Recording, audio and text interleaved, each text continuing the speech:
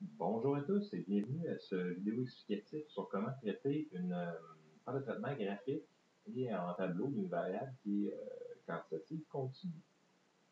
Euh, je vais reprendre le fichier de la dernière fois qui contenait les données brutes des étudiants du collégial au Québec, dans lequel on avait fait le traitement de la variable qualitative degré de motivation.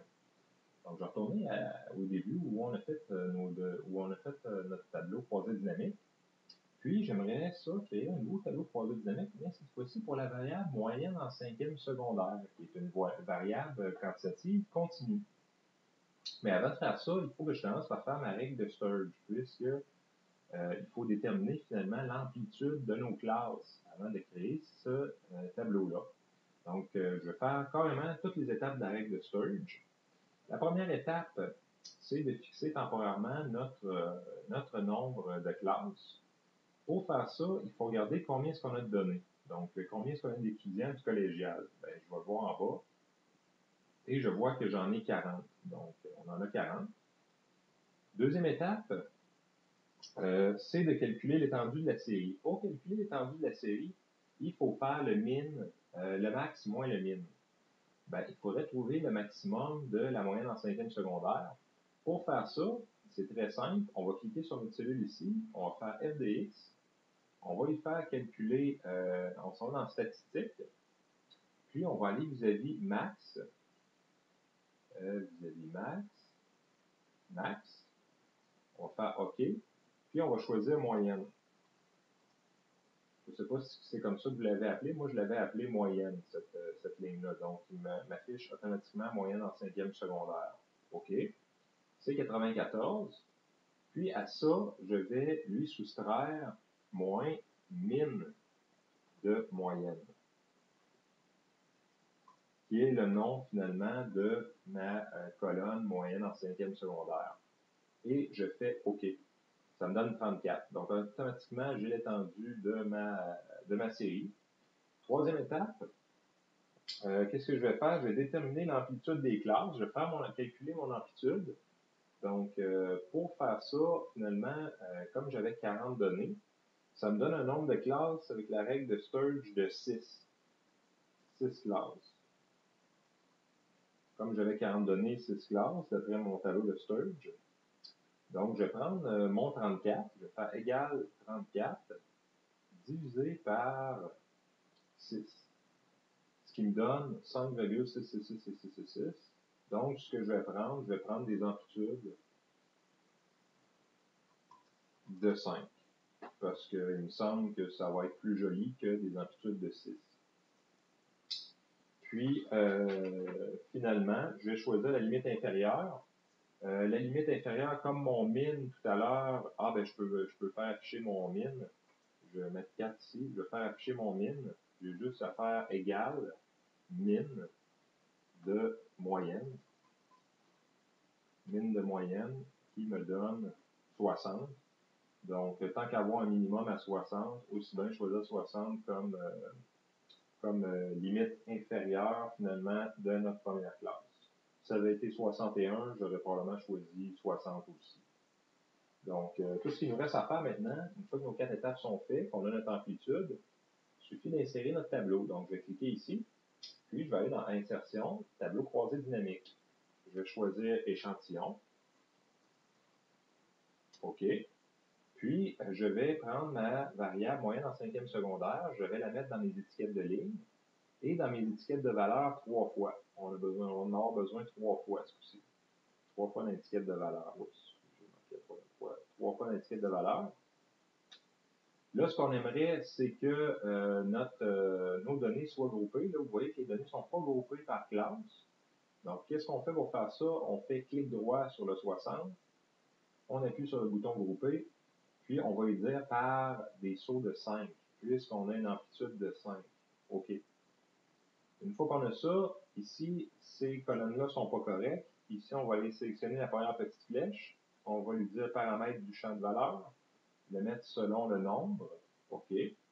Donc, ça, ça veut dire que j'ai 4 personnes en 60, 64, et ainsi de suite, 5 personnes en 65, 69, et ainsi de suite dans le tableau pour mes 40 euh, élèves.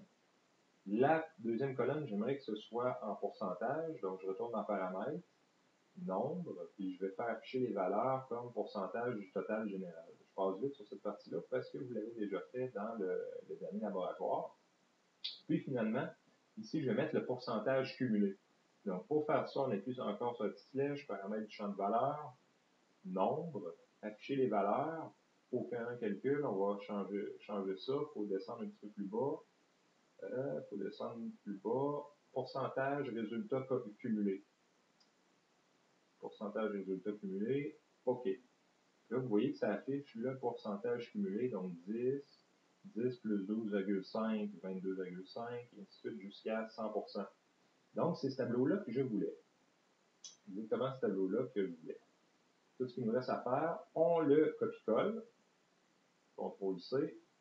On va s'ouvrir une nouvelle feuille parce que la feuille 1 contient notre laboratoire du dernier cours. Donc, je vais ouvrir une nouvelle feuille et je vais le coller là. Ah, j'ai pas fait le bon collage, excusez-moi. Il faut que je fasse euh, collage spécial. Donc, j'appuie sur la petite flèche, collage spécial, comme des valeurs. OK. Là, vous voyez que finalement, les données ici sont affichées en pourcentage. Je suffit de les sélectionner.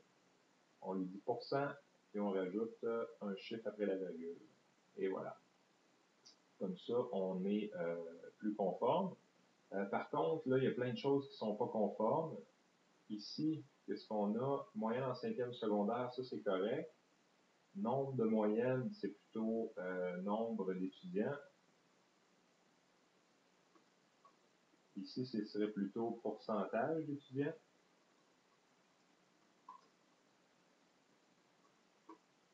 Ici, ce serait plutôt euh, pourcentage cumulé. Et voilà faudrait donner un titre qui a du bon sens à tout ça. Un titre qui a du bon sens, ça peut être répartition des 40 étudiants selon euh, la moyenne en cinquième secondaire. Et voilà, faire un peu de mise en page. Comme là, vous voyez, euh, j'ai des choses qui sont quand même coupées. Là. Fait ce que je fais en ce temps-là, je sélectionne mes cellules, je fais clic droit, euh, format de cellule, puis j'ai dit euh, alignement, euh, renvoi à la ligne automatique. OK. Puis là, vous voyez, le renvoi à la ligne se fait automatiquement. Puis je peux même prendre un meilleur alignement comme ça, centré, parfait. Comme ça, c'est centré, c'est beaucoup plus joli. Ça a beaucoup plus de sens.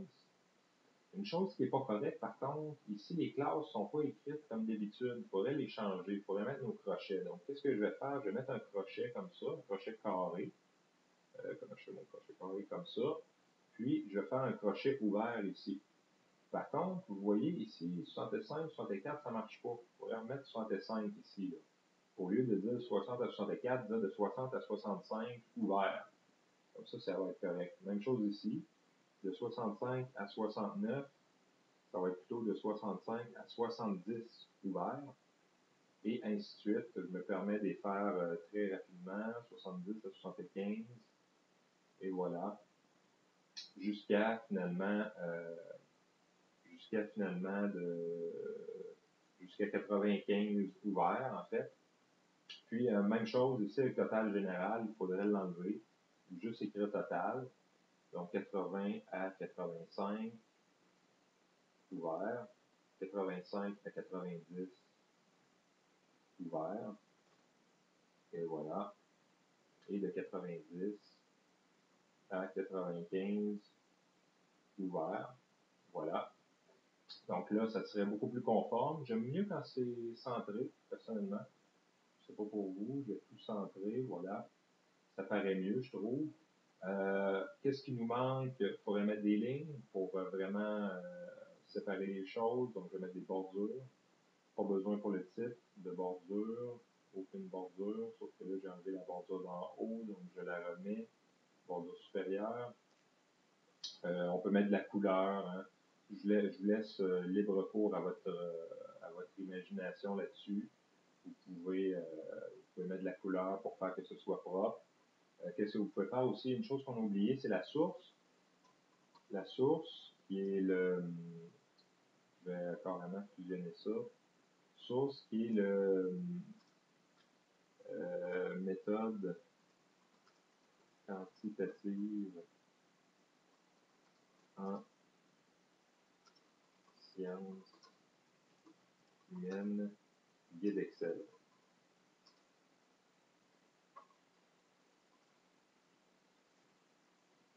Et voilà. Donc là, notre tableau serait conforme euh, aux normes statistiques. Tiens, comme ça, il va être plus beau. Puis, ça fait, euh, ça fait en sorte qu'on va pouvoir, avec ça, tracer notre, euh, notre histogramme et notre ogive, comme on a les pourcentages et les pourcentages cumulés. Donc, je vous remercie et je, je vais vous voir dans le prochain vidéo.